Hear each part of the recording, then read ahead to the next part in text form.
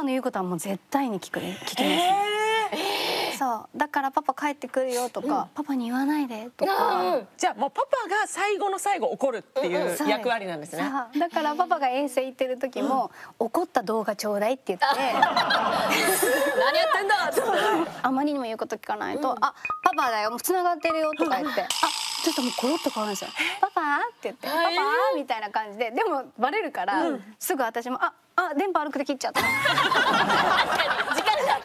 から終わっちゃう終わっちゃう